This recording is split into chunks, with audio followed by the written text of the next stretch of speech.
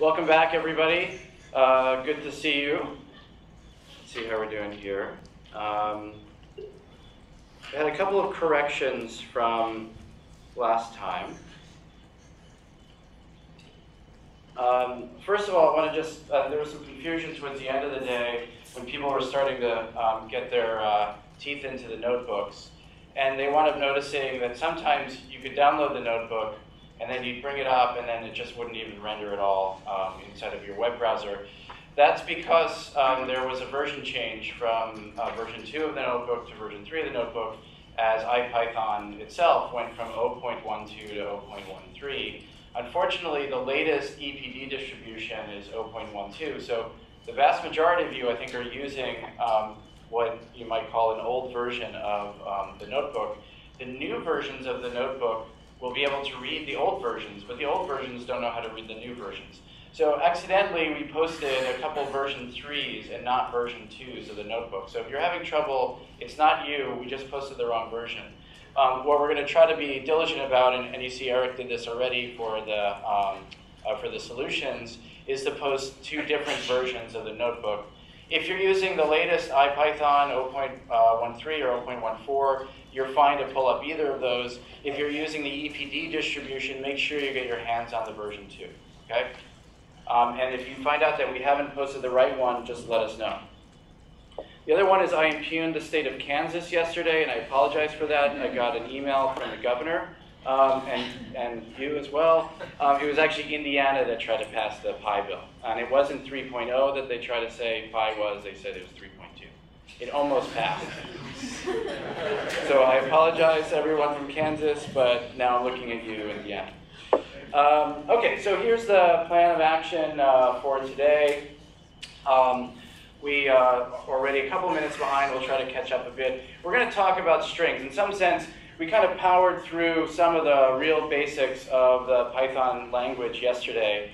And, um, we're, and then we got into some interesting stuff like plotting, and these are considered sort of outside of the, um, of the built-in core language.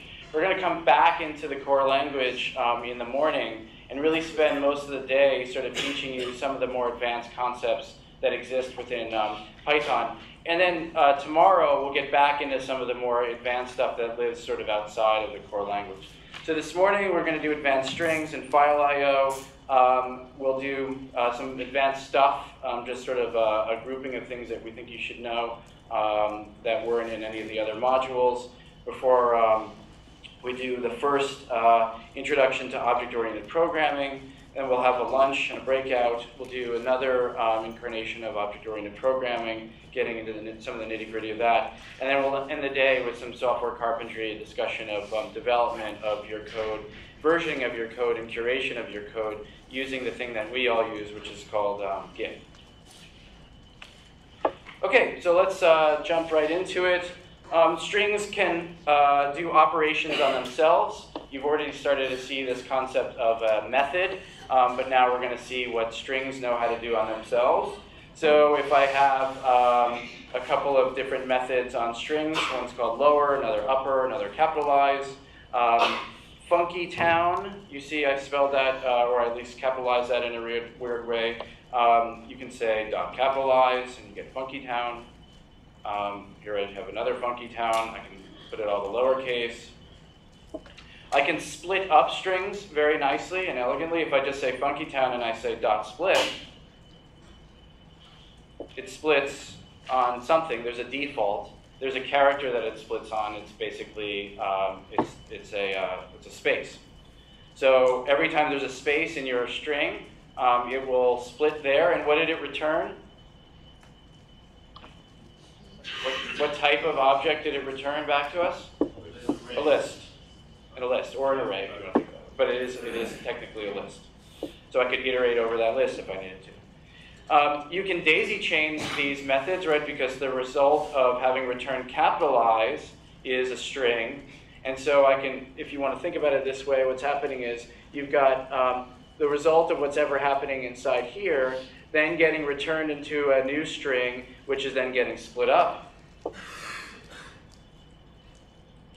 you can use um, the list comprehension that we introduced yesterday uh, to go through and perhaps sequentially capitalize each one of these. Um, so you notice, if I said funkytown.split.capitalize, the result of funkytown.split is a list. Dot capitalize is not a method of a list, and so that would fail.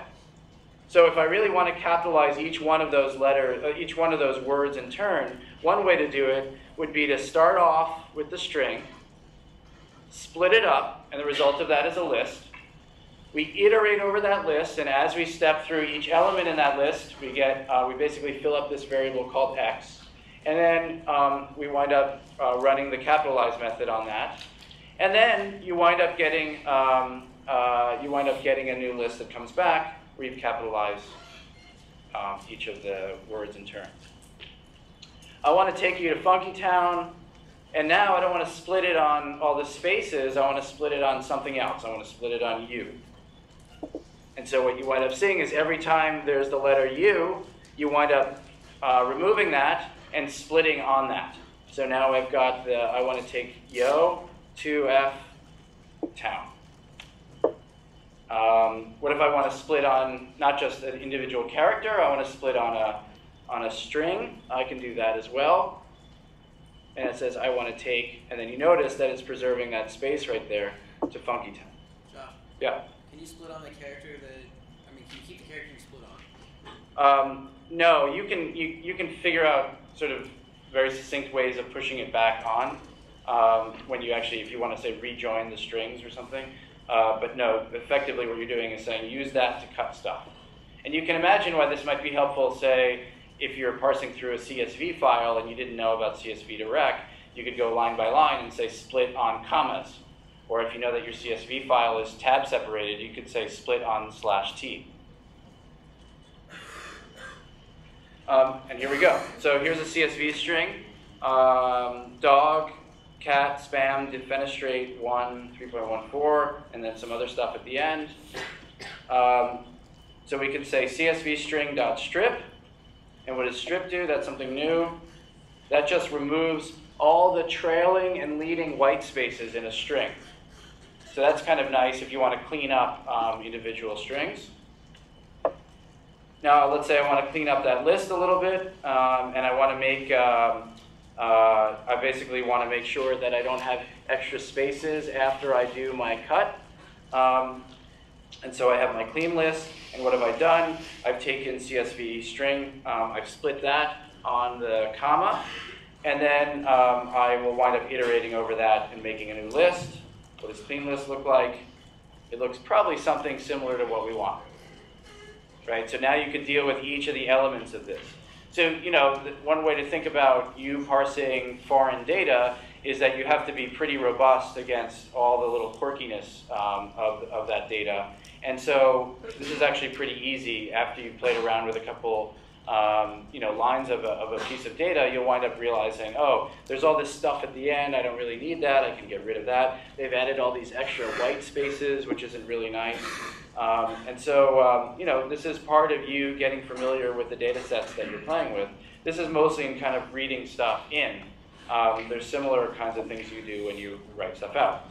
In particular, there's something called join um, that allows you to glue a list of strings together with a certain string. So now I've cleaned up uh, that one line of, um, of uh, CSV, and I want to do something with that. Let's say I want to write back out a cleaner version of, a, of that CSV line. So what you can do is you can say, here is some string, and join it, uh, basically use that to um, essentially act as glue between all the elements in this list right here. So it's, it's almost identically opposite of split. Here you basically say what character you want to use to uh, do that glue, and split you basically can say what character you want to do to do the split. And here you go, a nice cleaned up version of that, um, of that CSV line. Yes? Can you include spaces In it? in where? I need commas and spaces. Yeah, if you wanted commas and spaces, you could do that. If you wanted to separate everything with a slash n to have everything on a new line, you could do that. You can put anything you want there. You could also have that be an empty string, so you just concatenate all the, um, all the elements together. What do you think the uh, nature or the type of the different elements have to be inside a clean list for this to work? String. What if you weren't sure if clean list had uh, only strings in it? How could you sort of, without having to write a new array and stuff like that, how could you deal with that? Someone raising. Yeah, there. What's that? STR, but how, what does it mean to do an STR on a list? So close. For X. Yep, you would do a list comprehension, right? You'd say, um, you know, bracket uh, str of x for x in, in list, right? Close bracket. You can just shove that in here um, to make sure that you're, you're definitely getting a string. So here's a, a way if we instead don't want to do comma separated output, we want to do tab separated output with a backslash t. Um, we can also go into strings and we can replace stuff within them. By the way, remember I said yesterday that strings were mutable. That is still the case. What's happening when we're replacing characters and things within strings? Well, Python's saying, oh, you want me to replace this with that? Fine, I'll do that for you. I'm just going to return to you a new string. So you're not actually going in like you do within a mutable object like, um, like a list. You're not actually going in and in line essentially changing that uh, element in that list. You're actually creating a new, uh, a new string. So dot replace is a method that works on uh, strings. And here I want to, here's my CSV string. And I want to, what am I going to do here? I'm going to strip all the bad stuff off the back over here, and there's nothing up the front. And I want to replace all the spaces with a comma. So I pretty much got back what I did in the few lines above it, but in a very different way. Are there any questions about that? Yes. Actually, you're replacing the spaces with a no space. Uh, oh, sorry, yeah. I, I, yes, correct. I'm replacing spaces with no space. Thank you. Yeah. Um, okay, and here I'm replacing the no spaces with, uh, sorry, the spaces with a no space, and then I'm replacing the commas with a backslash t. So that gives me my tab separated version of that. Everyone clear what's happening here? Sort of daisy chaining these methods. Should be clear what's sort of the ordering of this as well. Okay. Um, we can do some introspection inside of, uh, of, of, those um, strings. And find, as you'll see, or find, is incredibly useful for searching. What you get is an index of um, the result of that search. So if I have a string called my funny Valentine, and I ask for where is um, the character uh, y, I get the number 1 because s is 0 index, so m is uh, the 0th place and y is at the first place. And again, you notice, um, just like when we were doing a list yesterday, that if you ask for the index of an element whose value is something, you don't get back all of them, you get back just the first one. Um, s dot find uh, y comma 2, what's happening here? Well, what it's saying is start your search at index 2. So for instance, if you absolutely needed to loop over every, every single string, there's obviously sort of um, nice packages that do stuff like this for you. But if you had to really, really go into every single string and look for certain characters or certain, um, certain uh, snippets of, of string in there, um, one way you could do this is basically start at zero index and just start looping through your string. Find the first uh, instance of that, perhaps save that index, and then start at the next value. In this case, I started. I had one, and I start now at two. I start my search at two, and you just keep on going until you get to the end of the string, right? If you really need to do something like that. Um, okay, what is this doing? Well, think about the ordering in which this operation is happening s dot find funny, that's going to find the index where the word funny starts. So it's going to be 0, 1, 2, 3. So 3 is going to be replaced here. And then I have the colon, and then I have nothing after that. So I'm going to start at index 3, and I'm going to get everything after that. And I'm going to just return that, that part of that string.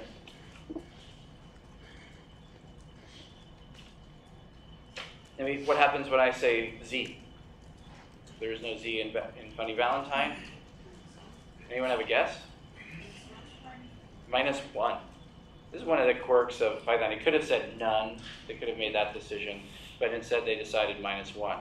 So typically what you'll wind up seeing in code is that if you're trying to find, let's say you're, you want to know whether the line that you're looking at is a comment line, you'll say, uh, and, and you know you want to loop through all the comment lines, you don't want to have to deal with them. You might say, while the string that I'm reading um, dot find, and then you know whatever the comment, let's say it's a hashtag, uh, is not equal to uh, not equal to negative one, keep on going. Yeah. That's a weird choice because that happens to be the index of the last character also.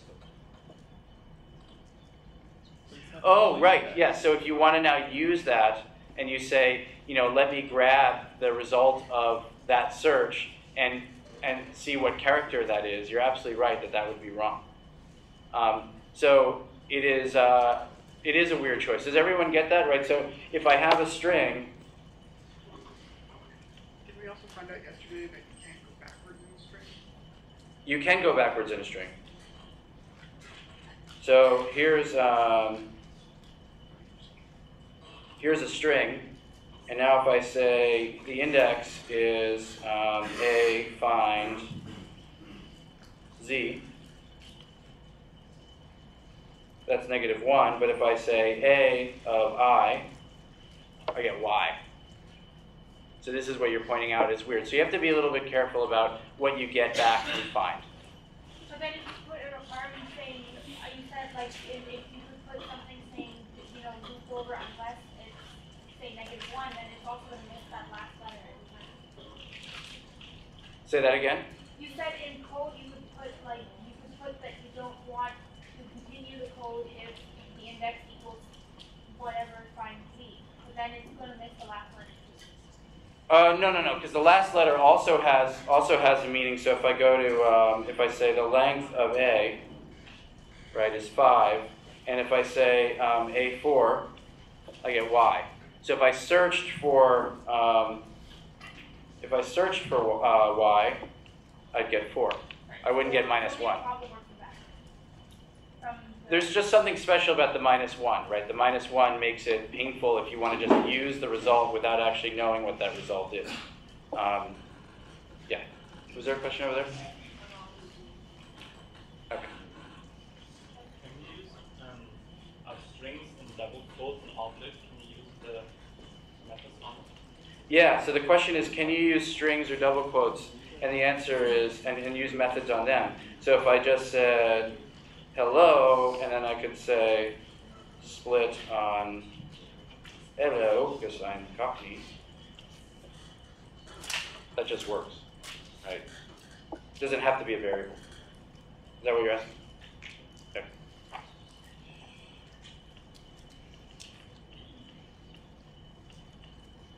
Okay, so now we have a, um, a list of strings.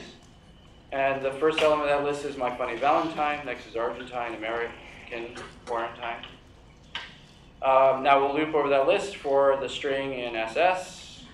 If the string finds time not equal to minus one, that is, it's in there, print uh, basically the string um, contains time. My funny Valentine contains time, Argentine contains time, quarantine, quarantine contains time. Um, you try to say that at home. Um, so what are we missing out here? We're missing we're missing the American because as I loop through these strings, I wind up asking the question: Is um, the occurrence of time inside of that string? Um, if it is not, I will get back a negative one. So this is sort of an example, a very succinct example of um, how you would use the find to sort of loop through all of your different strings.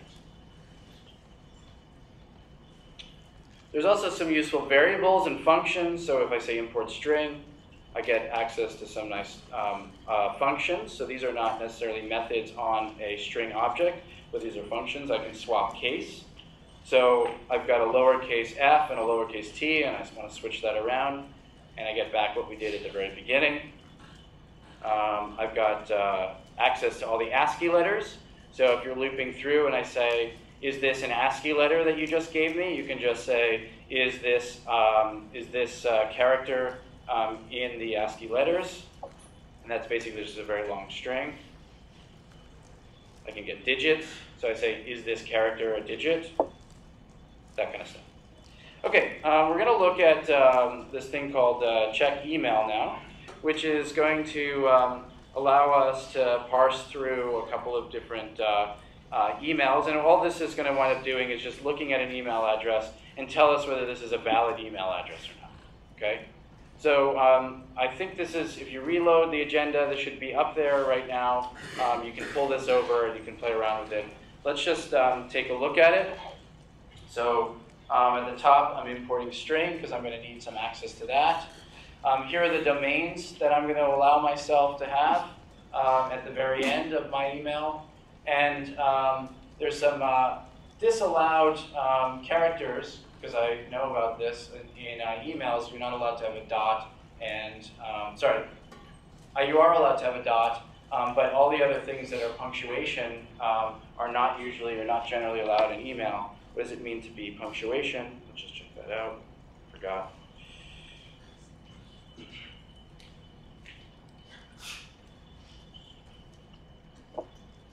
That looks like Charlie Brown speaking Lucy. Um, so all that stuff isn't allowed. We're gonna we're gonna handle the at sign gracefully. But um, what you see I did here, uh, where I wound up replacing the dot with the empty string, I basically said I like I don't want to know about any of these things in my email address, but I will replace um, the dot with the empty string, which is just saying it's okay to have that dot. And you notice that somewhere in the middle, around there, the dot is now gone.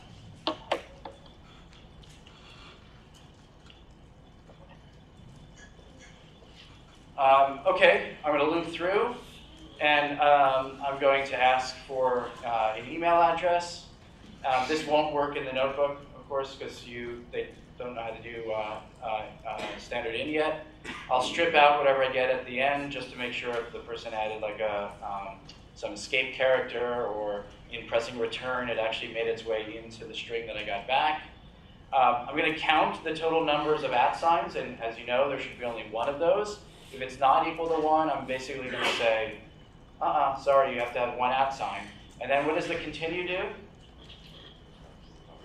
It just says, forget about all this other stuff, just go back to the top. And it, what's that going to do? It's just going to ask for another one. Um, user name and domain. This is where I will now use the split, uh, split method on that string, and I'll split on the at sign. So now I've got everything on the username side and everything on the domain side. First, we look at the domain side.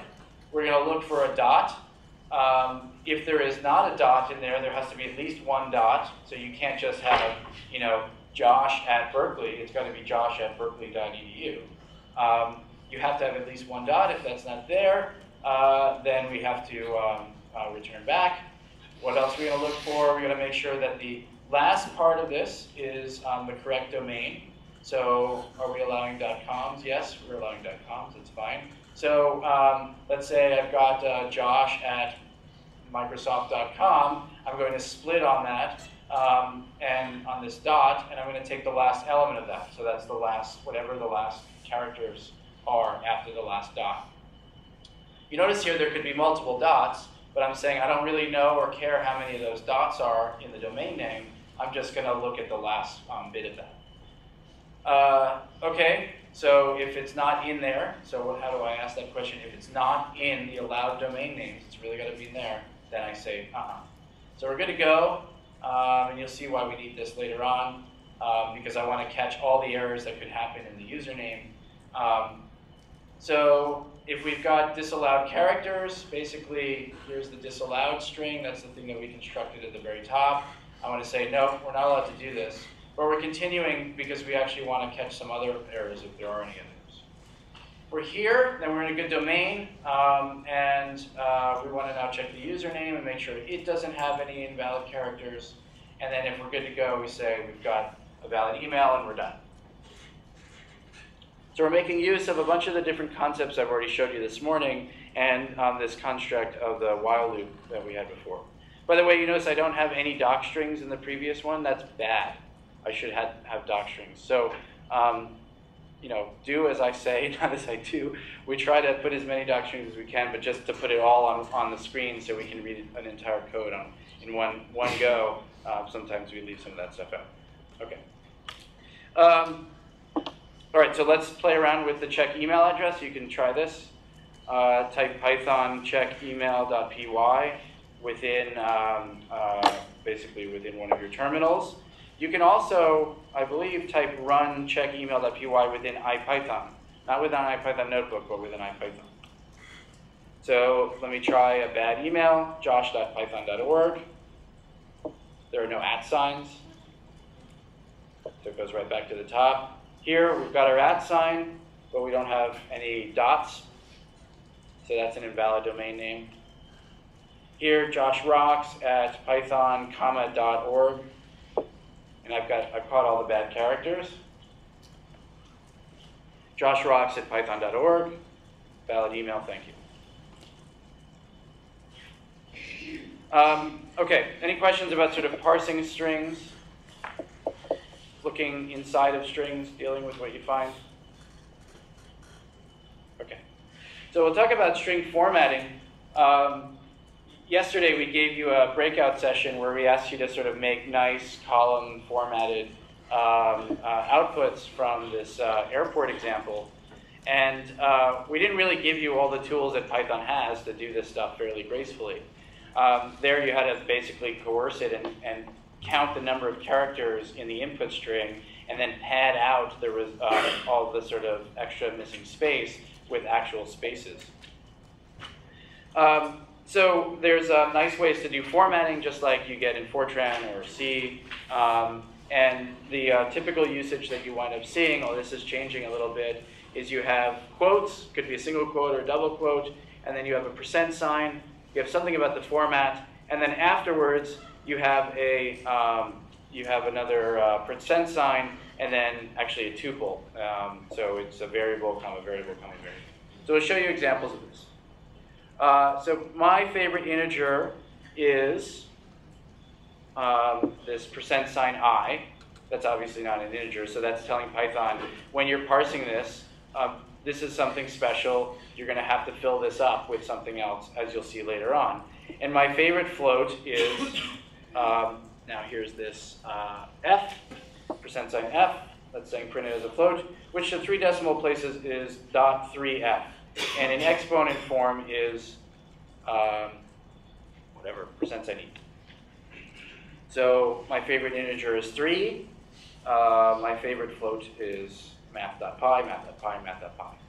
Python will do its best to basically coerce um, the, uh, the results of this output for you um, as, as makes sense. My favorite integer is 3. My favorite float is this, and there is a default for how many in a float get printed out after the decimal place, which to three decimal places is 3.142, and in exponential form is 3.14 blah, blah, blah, e, etc. Um, what are some things that, uh, that you notice about how this got printed out? It actually rounded for us. Right? So Python says, okay, when you're printing out a number that's a float, or you're printing out a number um, that uh, is an ex, uh, in exponential notation, um, and you're saying, just show me the first three decimal places, it says, well, you don't just want to see those as they would be represented if I sort of rendered the whole float, made it as a string, and then just cut it off. It actually says, oh, what you really want to do is you want to show this as best as you can, and therefore it's doing the rounding so this very succinctly shows you the different ways in which you can get access to different types of formatting. Um, if I had said math, uh, math.pi instead of the 3 here, what do you think would happen? I actually don't remember, so I'm going to do it.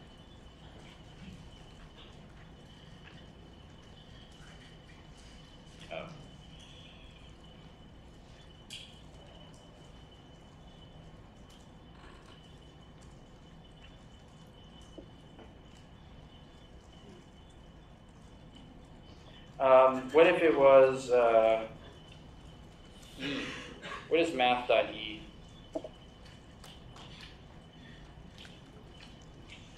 Right, it didn't do the rounding for us. At least it didn't. At least it didn't round up for us. Um, so when you do this integer printing, you got to be very careful, right? I believe when you do integers, it always does the floor of the integer. But when you're asking to render a float, and you're asking it just to show a certain number of decimal places, then um, uh, it does what you think it should do. Any questions about that? We're not going to have time to go into all the different types of formatting. I'm just trying to scratch the surface here to show you that you can do these things, and it's actually pretty straightforward. Um, I have a link at the bottom. You can replace the 2.7.2 with 2.7.3. It's basically the same. It hasn't changed. Um, okay, if you actually do want to have a percent sign inside of your string, you have to tell Python, uh, by the way, um, this is not a special character anymore. And the way you do that is you wind up giving it a double percent sign. So I promise to give you 100% effort whenever uh, it's asked of percent sign s. Now s is a string. We can do uh, zero padding. Um, and uh, you see I have a, basically a bunch of different ways to do this. You can use this uh, as a reference point. Um, we have a percent sign f, so that's just saying show me the float um, backslash n, so I'm going to get a new line. Uh, then I've got a percent sign, sorry, then I've got a percent sign plus f. We'll see what happens there. And then a percent sign plus f backslash n, 0, 1, 0, f. You'll see all these different types of format. And we can try to figure out what it's actually doing for us. All right, let's start from the back, actually. Here's 10s. What do you think that's doing? It's printing out the, the word pi. It's just padding, right? It's making sure that there are 10 characters as what appears um, on this line.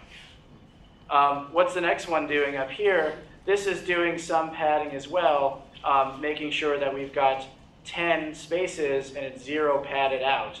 So it prints it in this funny way. Very rarely would you need to print it that way. Um, let's see, I had a minus sign right here. Um, and you can see that if I have a minus sign, I basically will always show, uh, using this plus, the minus sign. But if you don't have a minus sign through this first um, incarnation of the percent sign f, um, you don't see the plus sign. But let's say you really do want to see the plus sign, that plus says, okay, I'm always going to show you whether it's positive or negative.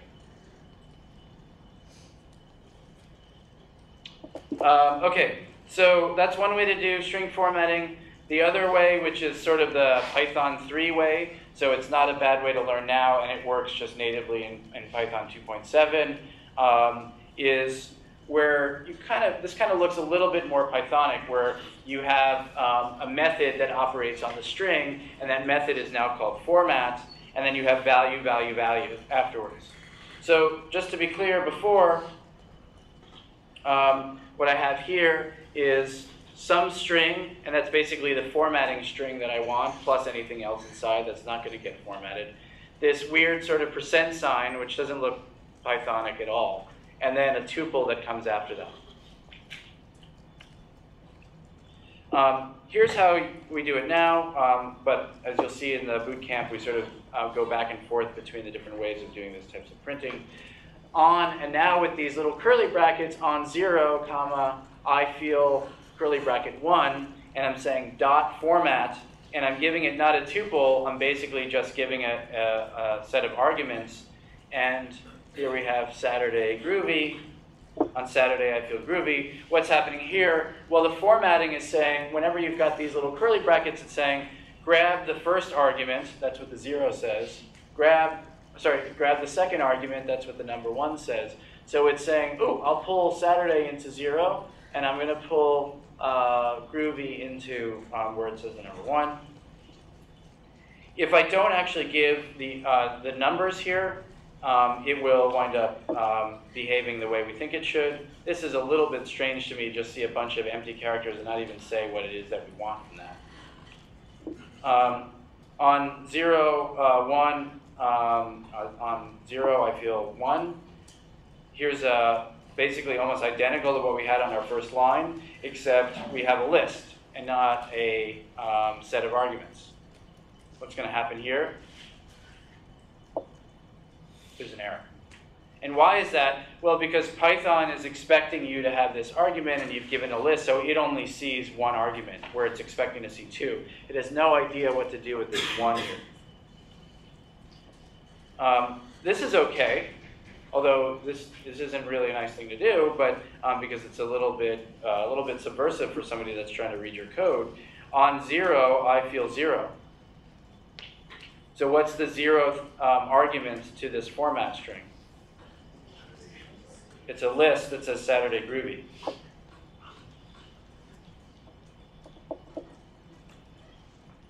On zero, I feel zero um, format um, Saturday Groovy, it's only going to grab the Saturday. Okay? So remember before when I said, you know, all these different ways of showing off math, uh, uh, math.pi, math.pi, I actually had to explicitly give it math.pi, math.pi, math.pi. Now, if I know I just want to format math.pi in a bunch of different ways, I can just give that as one argument and just keep referring to it um, in the string itself as a, a curly bracket zero. So um, you can assign by um, argument position, which is the zeros and ones. Yeah. All of your examples are strings. Do you have to cast it to a string already? No, no, you won't have to. Um, we'll see. I think we'll, I'll get to a couple examples of that. Um, yeah, I will get on the next page. So now let's say that I'm going to have this really long string, and I don't want to have to keep looking up. Maybe I've got a, a triple quote, and it's three pages long, and I want to replace a bunch of different places with um, uh, you know some some variables that I don't know their answer until until runtime.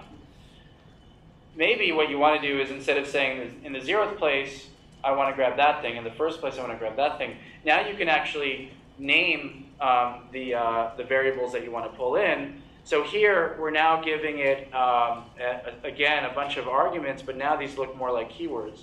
Desire equals fly me, place the moon. Desire to place, and instead of saying 0 and 1, I'm saying fly me to the moon. I'm grabbing by name um, these different variables that I want to stick in there. Yeah? And you could have, in the in the format parent, parenthetical, you could have had place first and desire second. Yeah? Okay. You want to try that? Well, I, I, n- n- no, but You don't have to trust, well, don't, don't trust me. I'll cut and paste and make it easier.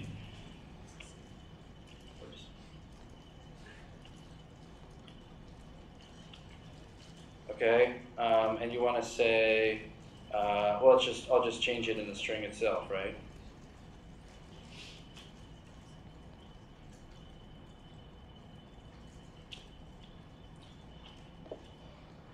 Okay?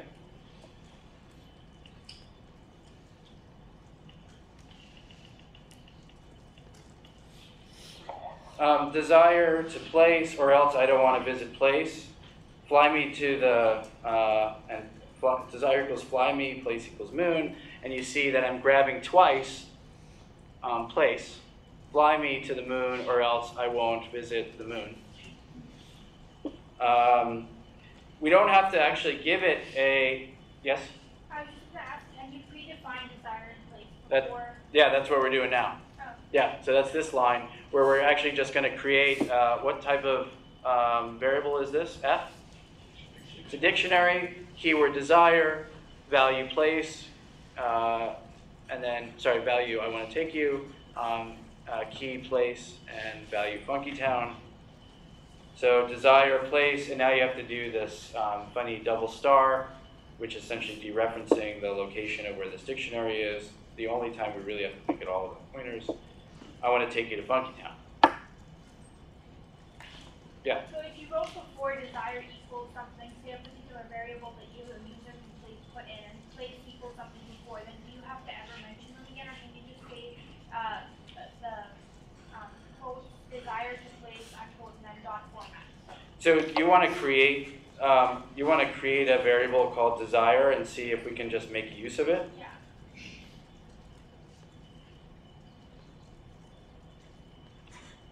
And then you want me to say something like um, desire. Yeah, and then dot format. And what am I going to put in here? Yeah, that's where I don't. Can you predefine it without recalling it? Uh, no. No, you have to. It's looking for. It's basically looking for a key. I mean, I, I could do desire equals desire. Okay, you have to do desire. equals Yeah. desire. How do you get the um, apostrophe in won't? The what? The apostrophe in won't? the apostrophe and won't. Um, what I would do is, so you want to do something like, um,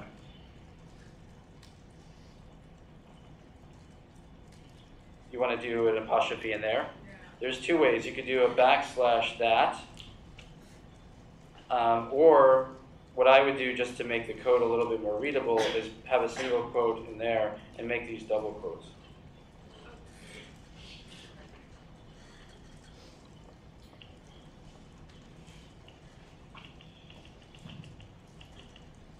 Okay. So here's some formatting, and basically the same sort of formatting paradigm from the previous way in which Python was doing string stuff.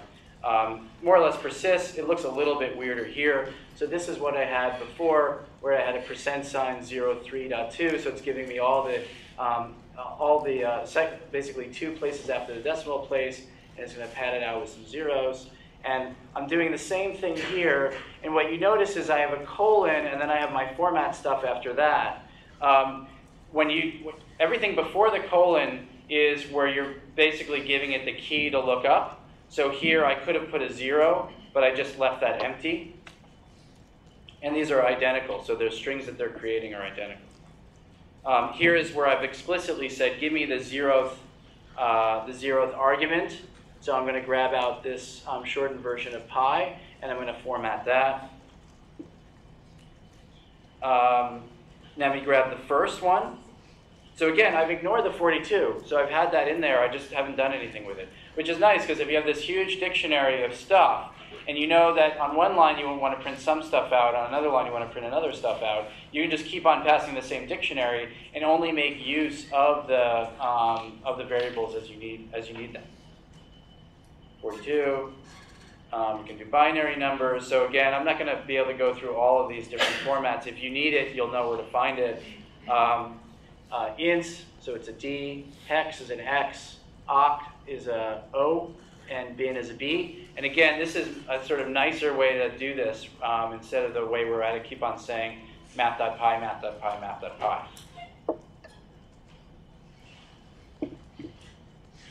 Right, because I just keep grabbing the zeroth argument.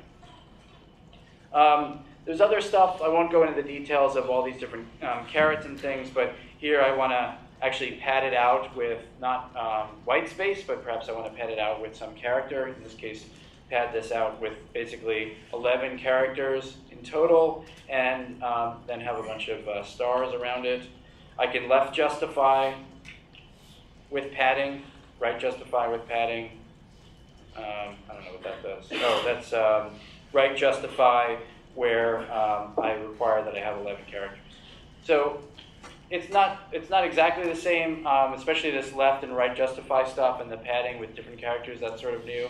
Um, but again, when you need it, you'll know where to find it. We won't have a lot of time to sort of get into the nitty gritty of this, but I want you to know that it's available. And it works in 2.70. It works on 2.7, definitely. It may even work at 2.6.5 level. You may have to import something special to say use the new way of doing printing. But yeah, for all of you guys using 2.7, you're good to go. And this is the only way to do it in, uh, in, um, in 3. Uh, regular expressions. Um, those of you that know about regular expressions already sort of know all the syntax. Those that don't, there's no way I'll be able to to teach all of that. The point is that Python has regular expressions, just very complex ways of doing string searches. So for instance, I can create more or less a compiled regular expression search through email. Remember that long thing that said check email? You can basically just find all the uh, find all the emails that are valid, and that works. And then I get one of my bad emails, and I don't get anything back.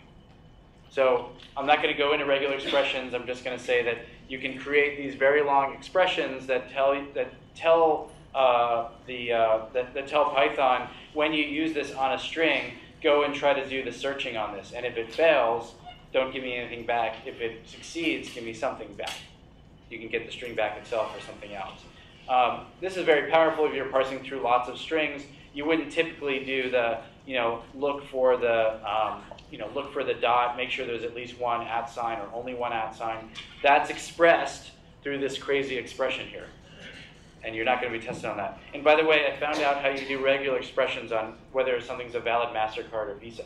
Do you know how like when you're typing in online and you have you like enter the thing in and put your number in and it's like, no, you said this was a MasterCard, this is actually a Visa? there's a little JavaScript somewhere that's checking in the browser and it's running that regular expression on your number.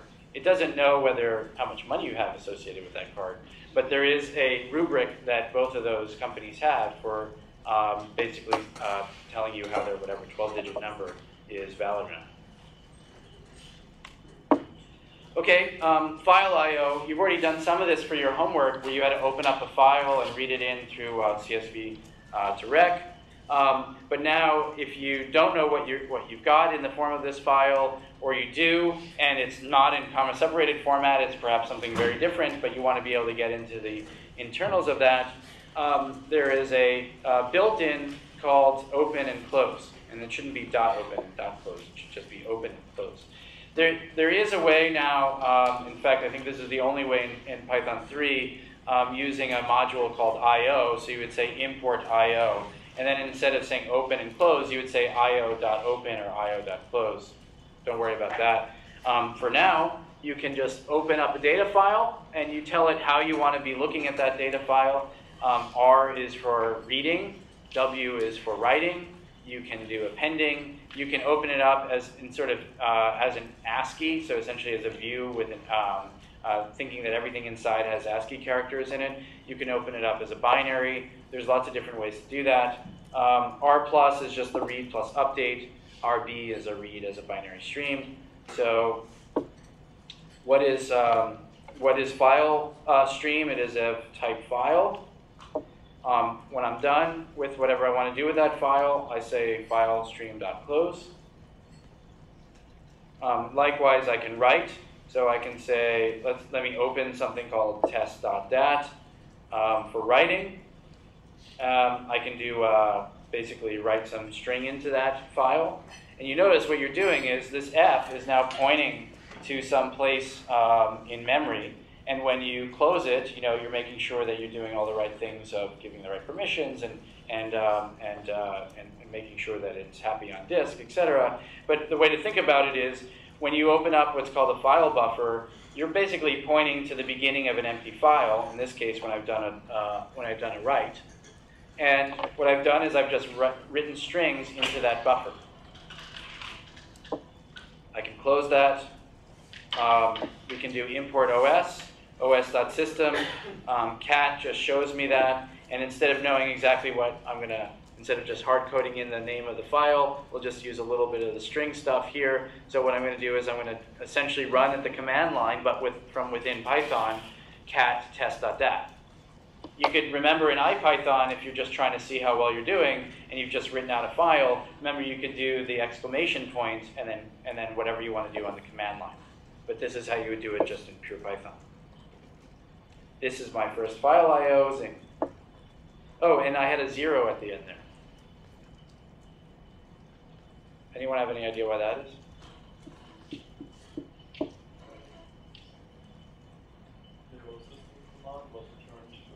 Yep, so the os.system returns to you whatever the result of it did here, it's capturing the, um, the exit code that comes out of that program, and that turned out to be zero, which is Unix's way of saying everything's fine.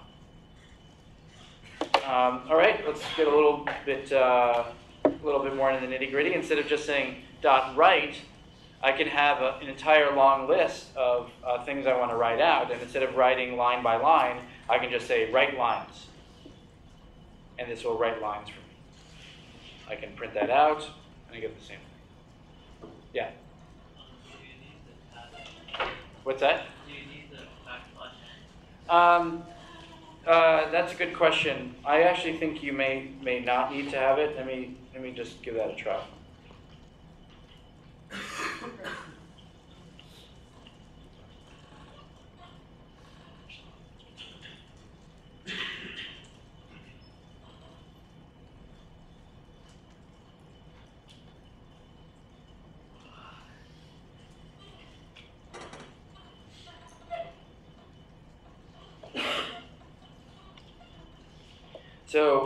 It makes it seem like uh, you, you more or less don't need it. Um, sorry, you do need it. If, let's see what happens if I don't put that in there.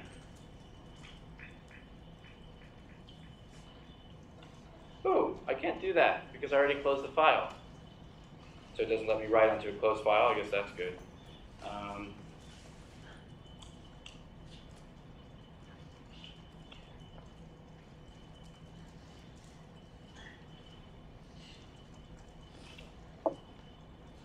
so do we need it? Yep.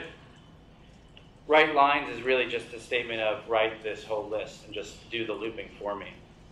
Um, it's much faster if you've got a long, long list of stuff you want to write out. It's much, much faster um, to write it out using write lines than to just say, you know, do a list comprehension because all that stuff is happening for you at the C level if you say write lines.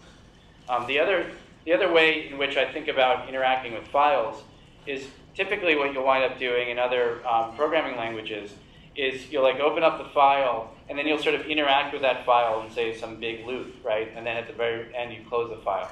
What I usually wind up doing is I open the file. If it's not massive, I'll read it all into some some buffer. I'll read it into some variable, and then I'll just close the file immediately, and then I'll just do all the stuff I need to do with the actual um, the variable itself. Another way to think about that in the context of writing is that let's say you're going to be writing the result of some long code that you uh, have been running.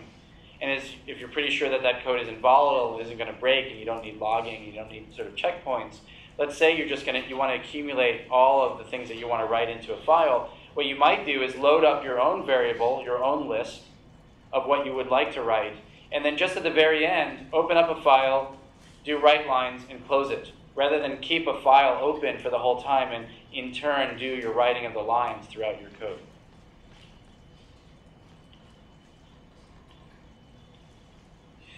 Um, there's read lines and read, uh, basically symmetric with uh, write and write lines. Um, so we can uh, open up some data, um, read it in, close it down, print it out. Um, if we said just uh, read, uh, so f.read, that would mean that we're only going to read one line, um, and uh, it would wind up looking until it gets to a backslash n. Okay, we're going to play around with um, uh, another file which should be uh, on the website. It's called Tabify My CSV. Um, it's, I think, well named and it has some doc strings in it. It tells you what it does. Um, essentially, we're going to wind up taking a file in we're going to write out another file, and we're going to more or less take it from being a comma separated file to being a tab separated file. So um, it's a small copy program, as it says, that turns CSV file into a tab file. All right, so let's um, step through this. First of all, how many arguments are there? Two arguments, and how many how many uh, keywords? Yep, we got two. And so the default for ignore comments is true, and the comment characters, these are the ones that we might um, ignore, uh, are, uh, are these guys. We could add more if we wanted to and change that. So if not os.path.exists, what do you think that means? The file isn't there, return and don't do anything. We could say, we could give them something more verbose. Let's open up a file, and let's open up uh, another one that we're going to write to. Um, inlines, f dot uh, read lines, f dot close. You notice I just read it in and I closed it right away. So now inlines has all those lines. Outlines is now an empty list. Yeah. Inlines and string are already What do you think? strings from the previous example.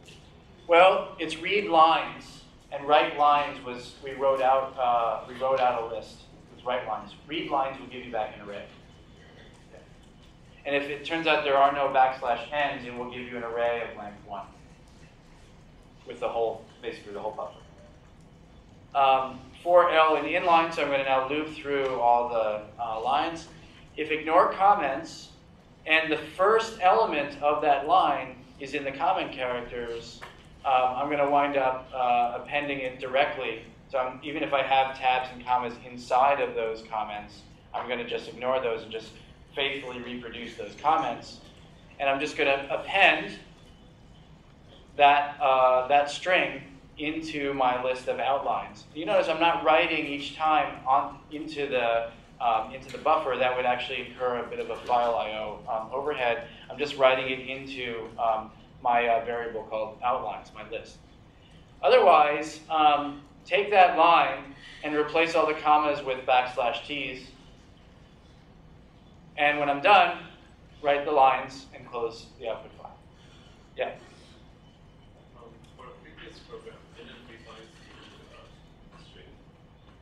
No, read lines. No, read lines should give you um, a list back.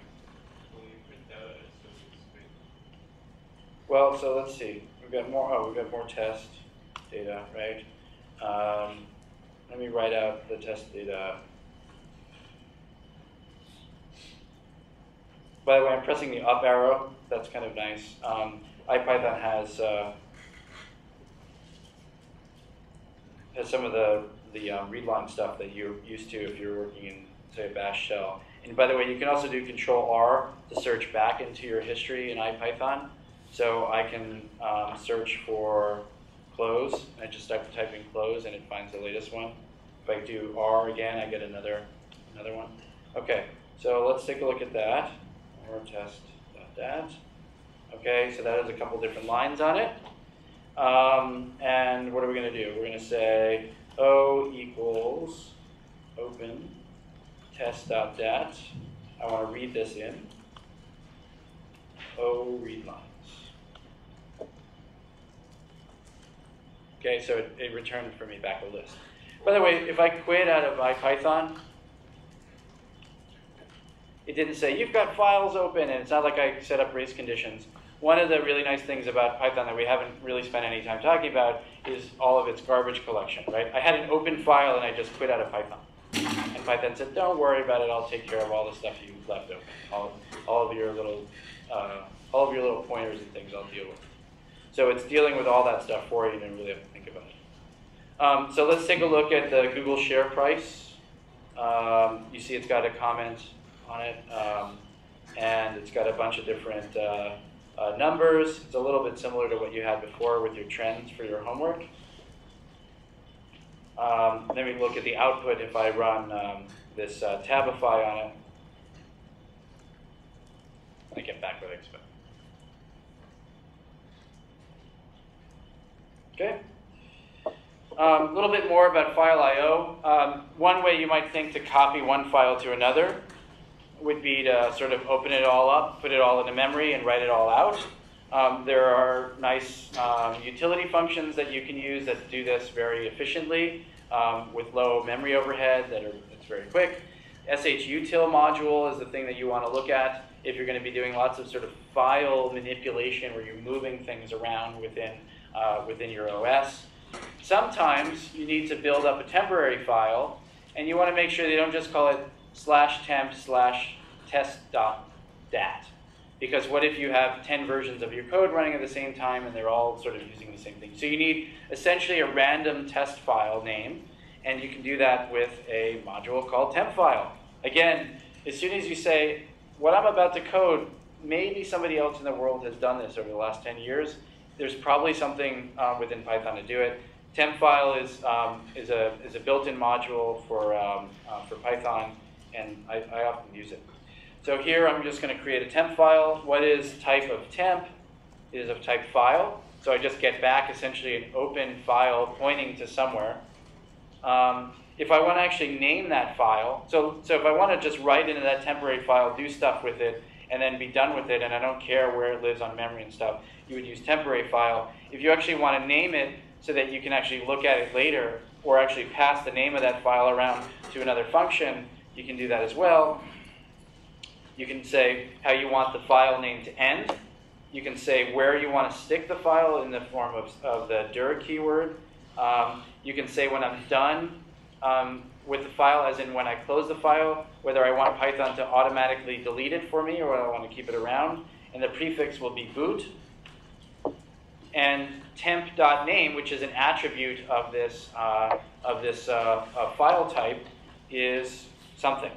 And if you run this exact command um, right now in your own interpreter, you're going to get something very different, except the first four letters of this file will be boot, and the last uh, four characters will be .csv, because that's how we've told it uh, to behave. And it's going to put into this slash temp directory. So I can write um, I can write into that file if I'd like to immediately. So I'm going to basically create a comma, sep comma separated file uh, with a comment stock phrases of today's youth. For instance, what's up, OMG, LOL, BRB, Python. Um, temp.close, and now I'll actually take a look at that file. Oh, and I got a zero, right, because I have the uh, OS system. Sometimes you don't actually want to write into a real file on disk. Perhaps you just want to write into something that behaves like a file so that you can pass it around across uh, your, uh, your code base. Um, and while you're sort of working in your runtime environment, that sort of object lives as if it was a file on disk, but it actually is just some place in memory. And string IO is used um, very often for this. It's handy for making file-like objects out of strings. And for those that are used to thinking about files as, um, as buffers, where you can sort of jump around to locations within in the buffer, things like seek, where you could go to the beginning or the end of the file buffer, that stuff all kind of works within string IO. Even though you're not actually interacting with a real file, you're interacting with something that looks like a file to Python, um, but is actually just uh, some big chunk of memory somewhere. So import string IO, my file string IO, stock phrases of today's youth, etc. Um, uh, we can get what we've just written in. We can seek to the beginning of that file. We can do read lines on that file. I can close that file, and I can write to that file, except I closed it, so that's not good. So let me open it up again. I can seek to the second location of that. I can write silly inside of, starting at the second location, seek back to zero, read out what I got, and you see that I replaced um, stock with silly. Even though strings are immutable, the string IO So this is not a string in the sense that you're actually, you're interacting with this as if it's a, a, a file and you're interacting with it as if it's a file that's open, that's in memory. So when I actually say, um, in, instead of saying silly, if I'd said supercalifragilisticexpialidocious, it would overwrite all the characters that are there, um, and it wouldn't make the whole thing larger. I always wanted to say that in class, and now I've done. You can retire. Um, C string IO is a faster implementation, um, a bit more memory efficient but um, it's not uh, sort of cross-platform independent. Um, I believe it works on all Unix flavors and Mac. I think it's got some volatility um, with Windows. So typically what you'll wind up seeing if you are going to use um, uh, string IO is you'll see something, well, you'll see something basically where you, you have a way of saying, try to import C string IO. If that doesn't work, just import string IO. We'll show you an example of that um, in one or two modules. Another uh, useful um, uh, interaction that you need to do, obviously, is make calls and uh, have discussions with your um, with your OS. And uh, I already showed you os.system. That is not a preferred way to be doing things at the command line from within the Python interpreter. Um, instead, the preferred way is doing something called subprocess.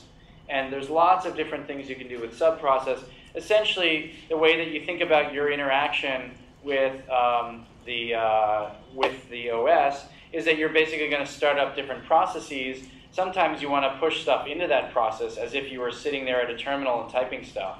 Sometimes you want to receive things back from it, so you want to get the standard out from that. And sometimes you want to be getting the standard error. And all of those are considered sort of different streams from a Unix perspective. Um, but what you do is uh, you basically open a process, that's p open. And here I'm opening up ls, or if you're in Windows, you would say dir. Um, I want to create the equivalent of a shell when I do this. And I want to um, have the standard out go to something called pipe. Um, I get a process ID, so if I want to watch how that process is going, I can, as you'll see, we'll be able to wait for that process to finish. It's got some process number. Yours will be different when you run this. Um, I get a standard out, so p dot standard out dot read lines. I get all the results of what's in my directory. Um, if I want to run something called Spamalot, which is an executable that does not exist, um, I'm going to get the standard out and the standard error. and Spamalot command not found. Okay. Um, you usually, if, especially if you got something that's going to run for more than you know a nanosecond, like an LS or something, perhaps you actually want to go off, do an email, check a web page, write some file, and then come back to the Python process. Um, you usually want to return basically uh, after you're done. So if I just say find everything with the dot, uh, uh, uh, a dot py at the end, um, I can wait until that process is completed, and then I get my full listing out. If you don't wait, there's a chance that because you basically can return right back from the call to popen, you can actually get results back from the standard out um, before this whole thing is completed.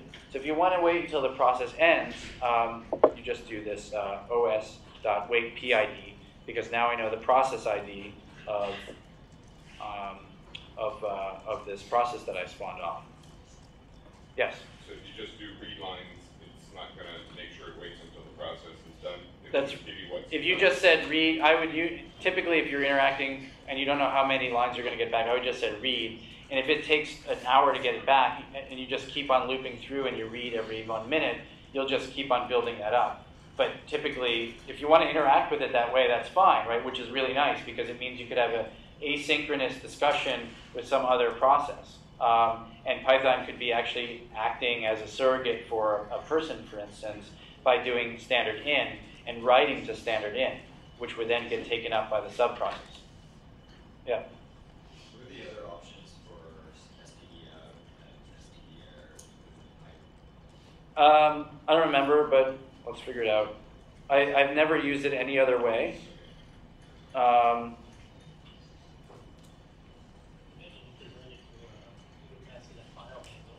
you might, as Brad's saying, you might be able to um, pass it a file handle. So sub process p open question mark.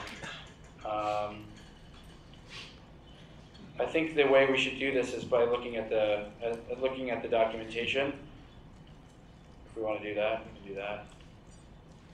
Oh, I'm not online. Um, the documentation on that gives lots of different types of examples of, of how to use subprocess. I've almost exclusively used it just to replace what I used to do with OS system. And there was something called popen2 and popen3. But this is more or less, I need to start up some other thing somewhere else. This is where Python comes in as a glue.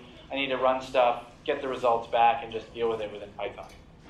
Um, but I think you can do very complicated interactions using subprocess. Okay, um, breakout time. You're going to build a command line utility file which copies the input file to another file.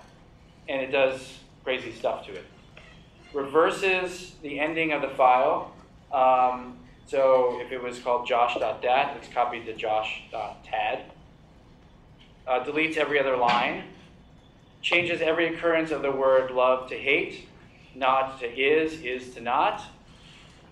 Sets every number to half its original value. So if you see 3.14 and uh, you like 2, you should say something like 1.57 and you like 1.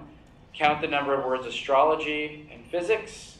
And we'll post uh, in a minute um, a file called le.info um, onto, the, onto the agenda site. Um, but you can start coding this up um, just to get the whole infrastructure there. Okay, Brad has posted it. Any questions about that?